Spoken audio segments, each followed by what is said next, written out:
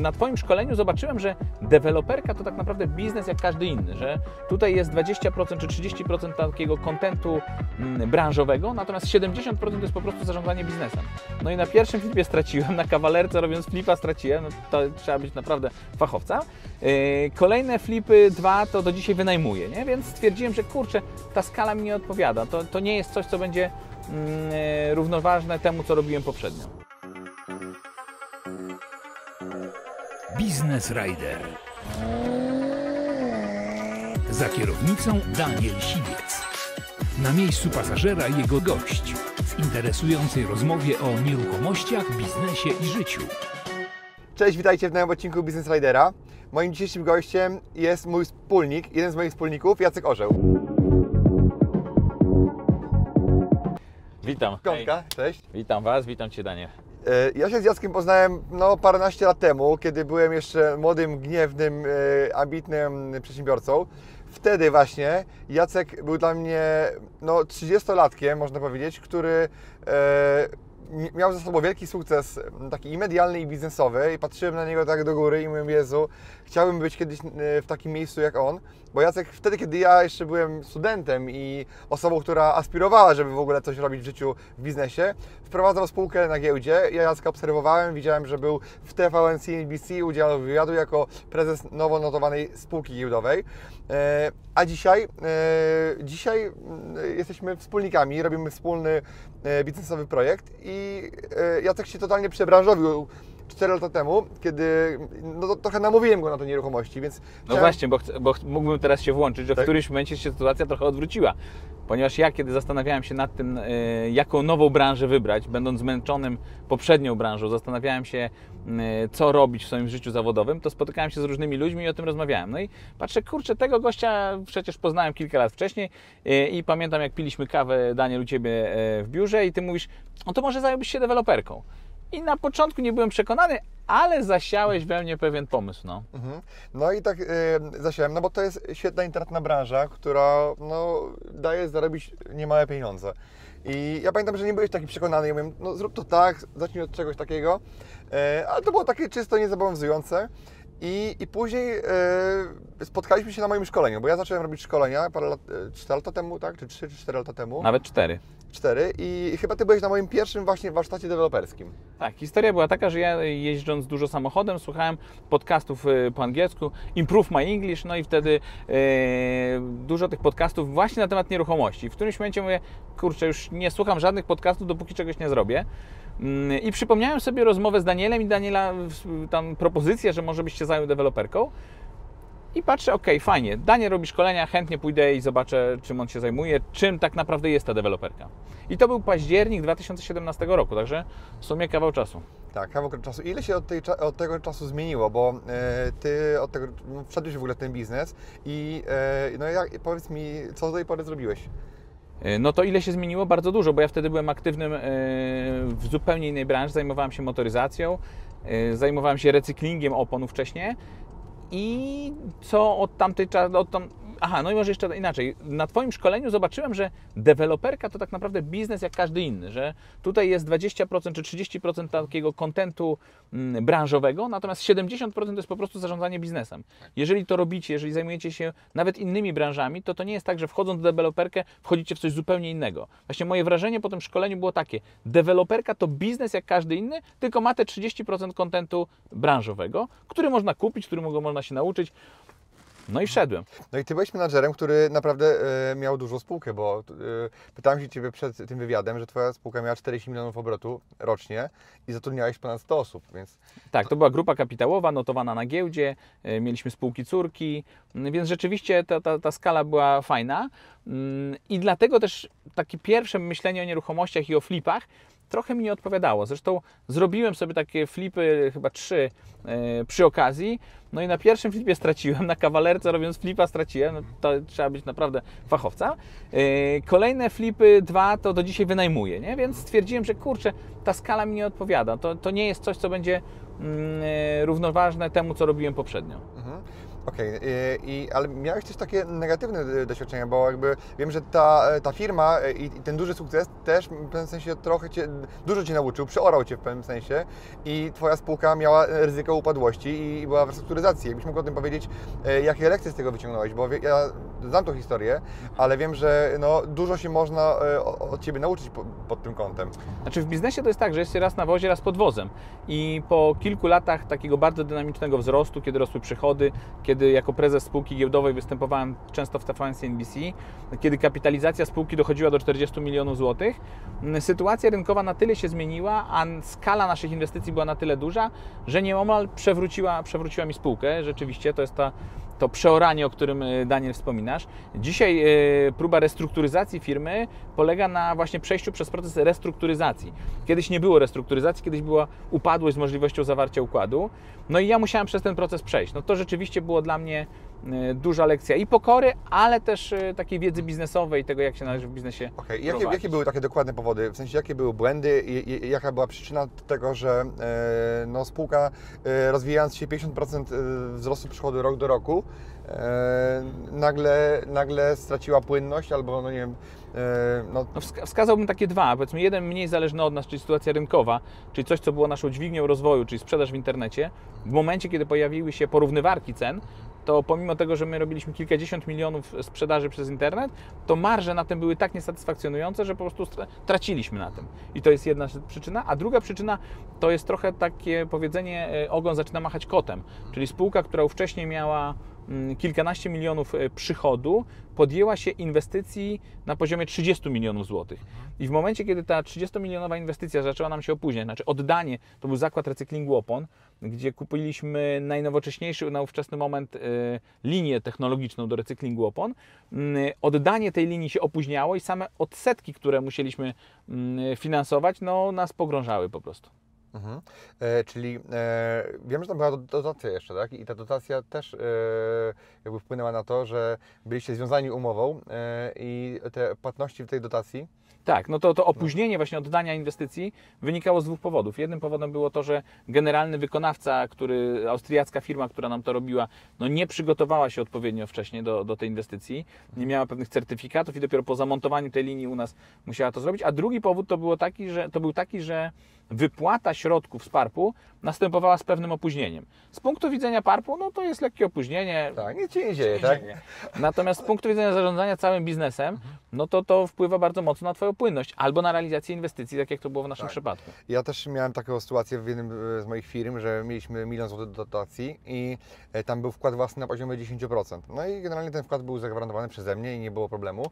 Natomiast przez to, że właśnie PAR p- wypłacał pieniądze nieregularnie, czyli miał opóźnienia w płatnościach, natomiast żądał od przedsiębiorców Kontynuowanie e, inwestycji. kontynuowania inwestycji i realizacji planu finansowego, bo jeżeli nie zrealizujesz planu finansowego i nie, nie zrealizujesz projektu w terminie, to ci nie wypłacą transzy, a jeżeli, e, a jeżeli nie, nie zrealizujesz tego, no to z kolei wykonawca jakby nie dostanie No kolejnych- schodzi Ci wykonawca na przykład. wykonawca, no tak. nie chce dalej robić i generalnie to jest pułapka. To jest jedna wielka pułapka i gdybyśmy my nie mieli moich pieniędzy, ja gdybym miał innych źródeł finansowania i nie musiał dorzucić praktycznie 50% wartości projektu z własnej kieszeni, w sensie, żeby przetrzymać to wszystko. Bo taka firma, startup często, który zaczyna, on nie ma mm, e, źródeł finansowania, to by nas e, PARP i dotacja zarżnęła.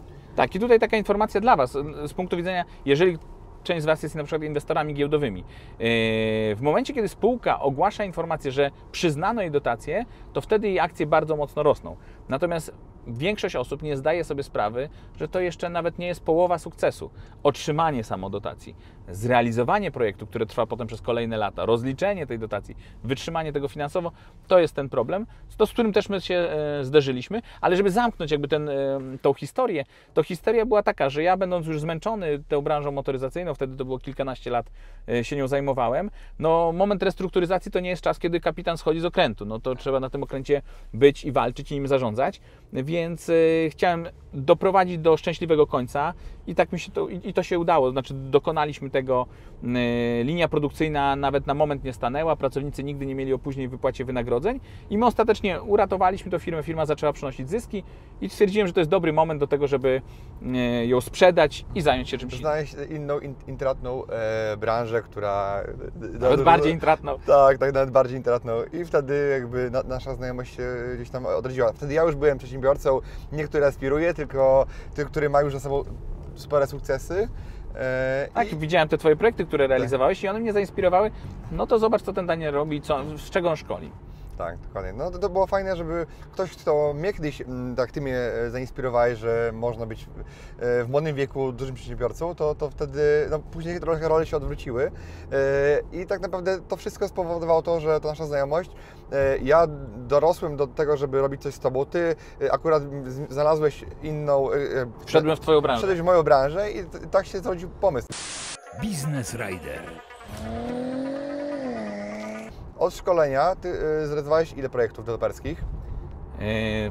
Tra- łącznie z tymi, które realizuję, to jest pięć. Mhm. Plus te kilka, które powiedzmy przygotowujemy. Mhm, dokładnie. I, e, I tak naprawdę nasza znajomość znowu się odświeżyła w tym roku, kiedy postanowiłeś jeszcze się szkolić. E, Tak, kilka, znaczy może że, y, ten okres y, od momentu, kiedy wszedłem w 2018 roku, y, w ogóle na, Danie, na, na szkoleniu u Daniela też rozmawiałem z innym y, y, szkolącym się człowiekiem z Lublina i doszliśmy do porozumienia, że moglibyśmy wspólnie realizować projekty. czyli spiknąłeś się ze wspólnikiem swoim, tak? Tak. I to jest właśnie ważne, żeby na, na każdym szkoleniu poznawać ludzi, rozmawiać, bo Tak, on potem do mnie zadzwonił i mówi: Jacek, słuchaj, mam taką działkę, może byśmy to wspólnie zrealizowali.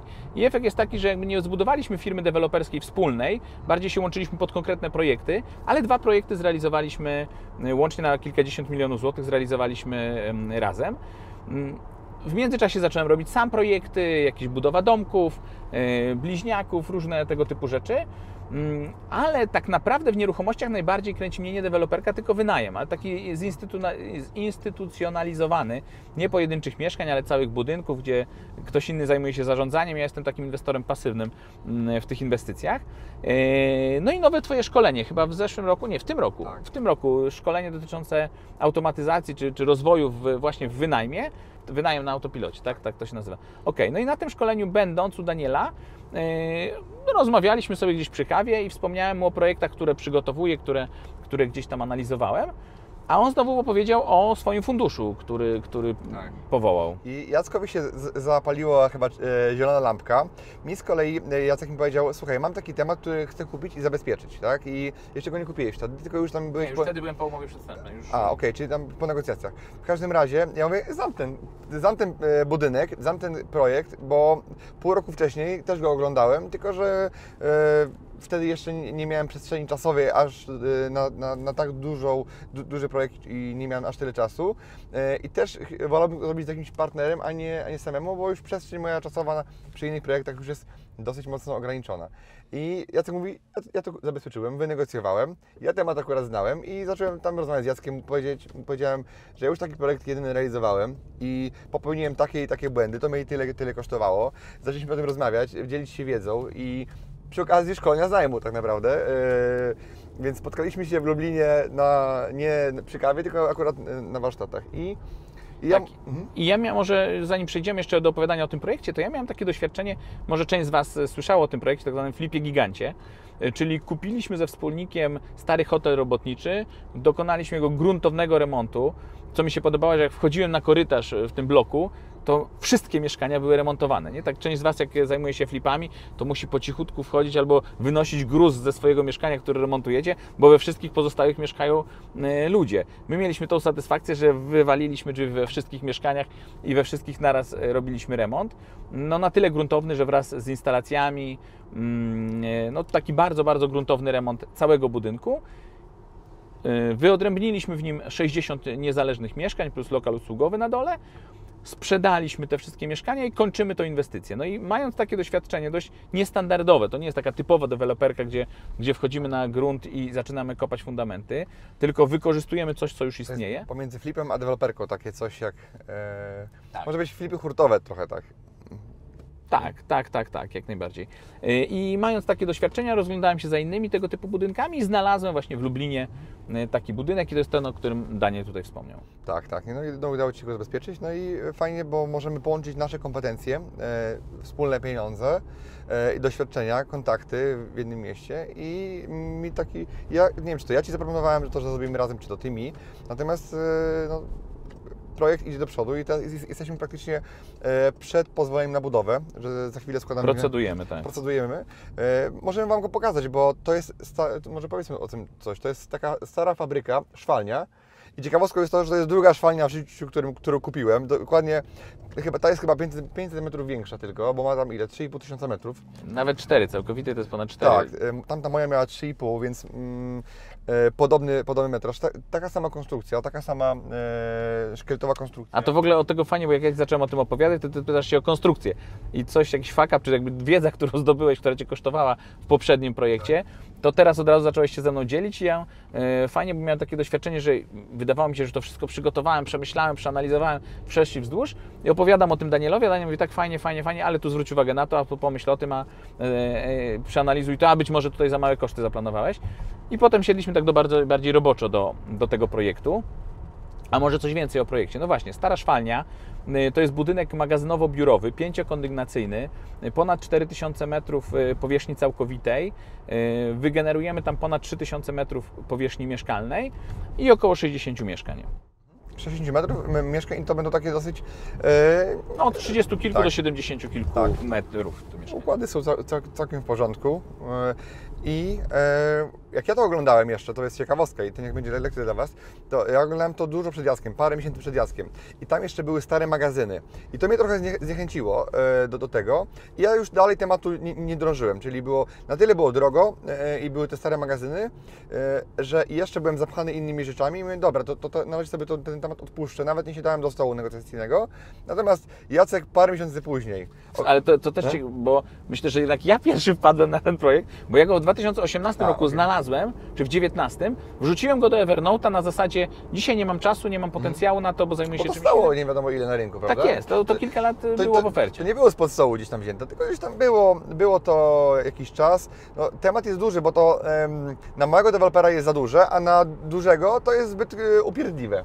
Tak, to jest za duże dla małego, a za, za małe dla dużego. Może za małe nie, tylko że jest za bardzo upierdliwe. Za dużo roboty po prostu. Mm, Deweloper duży woli sobie po prostu kupić działkę i w zasadzie swoimi starymi schematami. No e, właśnie, bo zrobić- deweloper duży ma pracowników, on sam się w tym nie angażuje na co dzień, Tak. tylko on ma pracowników, ma poukładany system i nie będzie wchodził w żadne niestandardowe e, procedury. Natomiast dla nas to jest te parę milionów zysku to jest y, adekwatne do, do naszego zaangażowania, do, do, do naszego kapitału.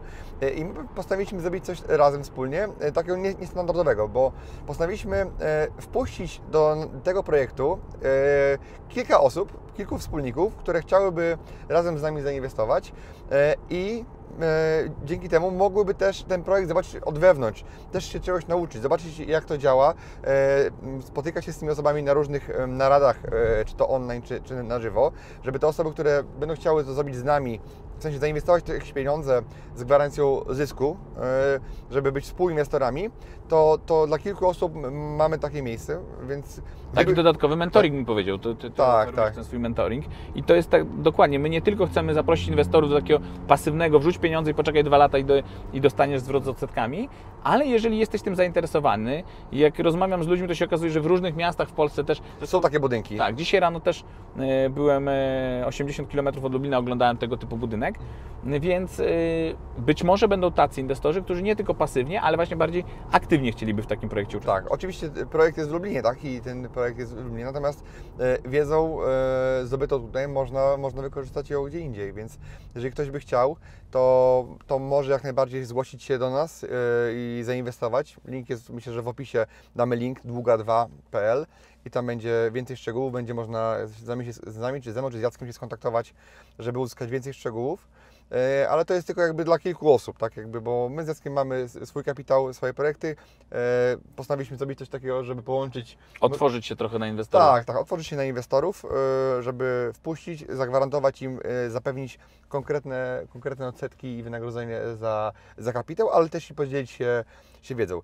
No temat temat jest ciekawy, bo ta szwalnia jest w bardzo dobrym stanie. Praktycznie elewacja jest kilkuletnia. Nowa, są nowe okna.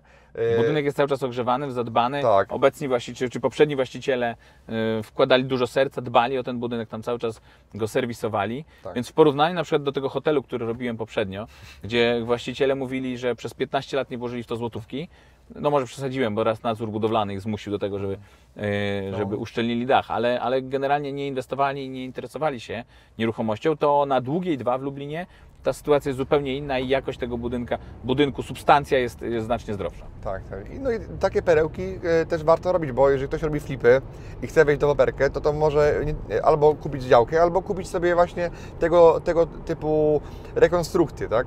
Oczywiście rekonstrukcja jest trudniejsza, nie umówmy się, jest trudniej coś naprawić e, niż budować od nowa, no bo to jednak są problemy, które się nie da przewidzieć na samym początku. Tak, ale jeżeli y, zajmujecie się flipowaniem, no to waszym celem czy waszym zadaniem jest nadać wartość czemuś, co już istnieje. Czyli ktoś przychodzi i mówi, nie, tu śmierdzi, brudno i jest y, y, błazeria na, na ścianach, a wy widzicie, widzicie tutaj pomalowane, ładnie przygotowane po homestagingu mieszkanie. I to jest taka sama sytuacja tutaj, tylko skala tego jest. Tak. y, to- Nie, nie każdy się na, na to odważy, żeby, żeby takie ryzyko i, i taką pracę na siebie wziąć, tak? Biznes Rider. Powiedz mi Jacek, Ty robiłeś tego, e, ten, ten budynek, mm, ten flip gigant, jak już go nazwałeś, e, to powiedz mi, jakie tam miałeś problemy, które, których jakby ciężko było przewidzieć, które Ci wyskoczyły, które były zaskoczeniem, tak żeby inni, którzy nas oglądali, mogli się przed tym też e, zabezpieczyć. Znaczy od początku zdefiniowaliśmy trzy problemy, potem się okazało, że życie do, urodziło jeszcze kolejny, ale trzy problemy to były takie. Pierwszy to był y, fakt taki, że tam mieszkali ludzie, którzy od kilkunastu albo kilkudziesięciu lat już zajmowali y, te lokale. Y, Drugi problem to był konflikt pomiędzy właścicielami, czyli było dwóch właścicieli, oni między sobą nie tolerowali się nawzajem. No i trzeci problem wydawał nam, nam się najłatwiejszy, czyli taki stricte budowlane. Znaczy instalacja stara, nieużywana, wymagała wymiany. E, No, życie urodziło nam właśnie czwarty problem, czyli kwestie administracyjne, ponieważ jak zaczęliśmy w Urzędzie Miasta e, ten budynek odkopywać i jakby analizować, to się nagle okazało, że w różnych e, wydziałach różnie traktują ten budynek, bo dla jednych to był budynek zamieszkania zbiorowego, dla innych to był budynek wielorodzinny, dla jednych to był budynek oddany albo nieoddany. Na hitem wszystkiego było to, że po czterech lat czy trzech latach dwóch i pół powiedzmy, pracy na tym budynku, zgłaszając go dzisiaj do nadzoru budowlanego, y, dostaje informację, ale zaraz, zaraz, my, my zrobiliśmy na dole przedszkole, które notabene kiedyś tam w latach 80. było i my zgłaszamy zmianę funkcji y, lokalu na właśnie przedszkole, na co dostaje odpowiedź z nadzoru, że ale zaraz, zaraz, dla nas tam cały czas jest przedszkole. Nie możemy Wam zmienić funkcji przedszkola na przedszkole, skoro dla nas to zawsze było przedszkole. Więc takim problemem, który był najtrudniejszy do rozwiązania, to była ta kwestia Administracyjna. e, administracyjna. I tutaj podzielę się z Wami. Ja raczej staram się mm, iść do takiej urzędniczki, rozmawiać z nią, być takim nie wszystko wiedzącym, tylko raczej udawać głupiego i pytać y, panią urzędniczkę, co ona mi proponuje, jak ona widzi tutaj rozwiązanie tego problemu, bo ja jestem biedny i nie wiem, jak sobie z tym poradzić. No ale w tym przypadku próbowałem różnych rozwiązać i takiego na, na, na, na, na głupiego, i zganiając na kogoś, i w końcu się denerwując, mówiąc, że no niech się oni zdecydują, bo nie może być tak, że jeden urząd miasta, a różne interpretacje. Mm, Ostatecznie nie udało nam się pójść w, praktycznie w ogóle na skróty. Wszystkie musieliśmy procedury przejść, kilkukrotnie występowaliśmy o warunki. Najpierw konsumowaliśmy jedne, występowaliśmy o drugie, konsumowaliśmy drugie, występowaliśmy o trzecie, stąd też ten projekt administracyjnie no, tyle, tyle czasu pochłonął. Mm, Ale jak się to śledzi, to jakby na bieżąco pilotuje te wszystkie wnioski, dzwoni się do tych urzędników, pyta się, co, co, co trzeba uzupełnić, co możemy pomóc, co możemy zrobić z naszej strony, no to pomimo tego, że to było bardzo niestandardowe i dość trudne, to, to przebrnęliśmy. Tak, no nie ma takich rzeczy, których się nie, nie da pokonać, tak? I, e, I z dobrą chęcią, tylko kwestia czasu, no bo to może... Czasu i właśnie rozmowy, to tak konkretny przykład Wam podam. W momencie, kiedy powiedzieliśmy, że chcemy tam zrobić 60 mieszkań, to dostaliśmy warunki zabudowy mówiące o tym, że musimy zrobić 120 miejsc postojowych. E, Na działce e, 30 kilkuarowej, z czego większość była zajęta tym budynkiem, więc zostawało nam trawnik wokół, wokół tego. Opaska taka. Opaska. Tak, a pani mówi 120 miejsc postojowych. No więc poszedłem do, do mając to, mm, to nie wzór, tylko to się nazywa projekt WZ-ki. Y, Mając ten projekt WZ-ki, poszedłem do pani i tłumaczę, no ale proszę panią, gdzie ja mam to narysować? A ona mówi, proszę no to jest proste. Pan po prostu na parterze nie będzie robił mieszkań. Wykuje pan, wyburzy pan ściany zewnętrzne i na parterze zrobi pan miejsca postojowe. Od razu panie, panu odpadnie parę mieszkań, więc problem się rozwiąże. Dokładnie tak. Najpierw się okaże, że trzeba tych miejsc mniej, a potem miejsca zrobimy na parterze w budynku i temat będzie załatwiony. Nie? No na szczęście udało mi się Panią przekonać, że to jest nierealne z technicznego punktu widzenia Yy, i ze 120 Pani zeszła nam do 11 miejsc postojowych, po czym no te 11 wrysowaliśmy, super.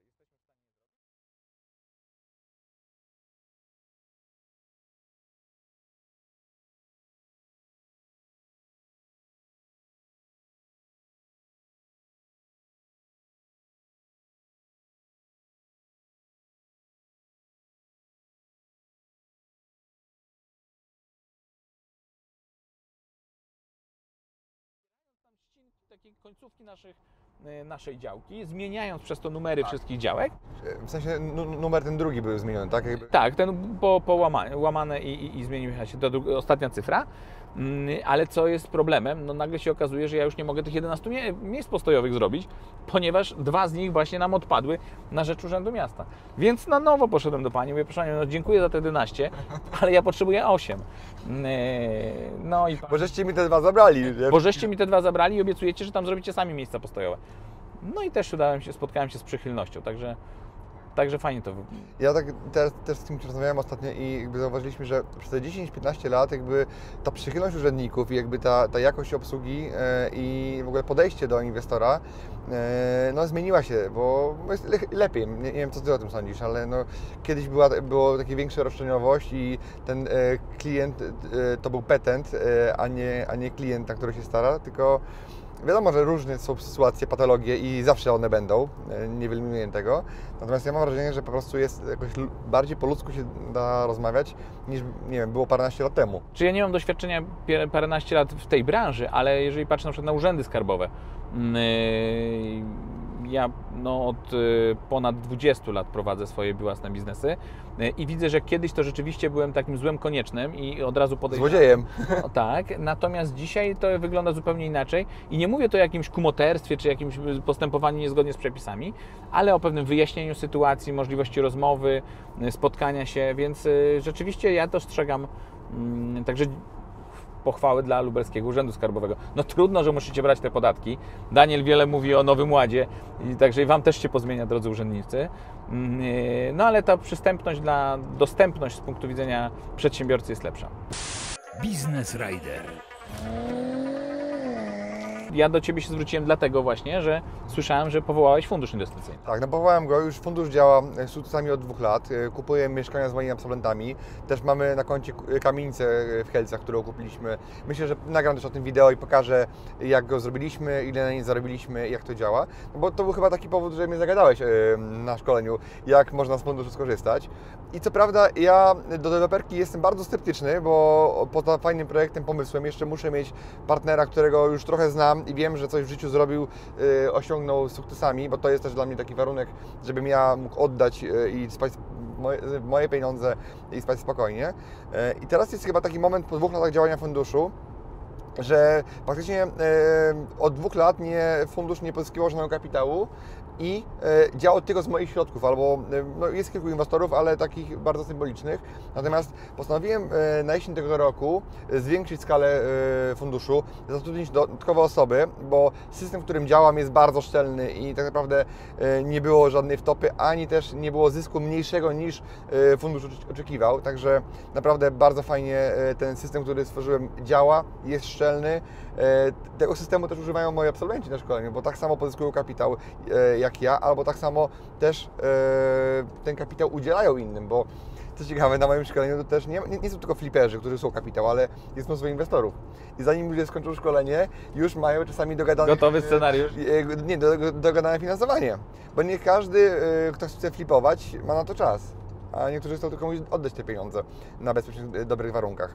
Tak, no ja ja też idąc na szkolenie z deweloperki, też jednym ze scenariuszy było to, że być może znajdę tam kogoś, komu warto będzie zaufać i który będzie realizował dla mnie te projekty. Ale potem się wkręciłem sam w ten temat i, i zacząłem go realizować, zbudowałem zespół.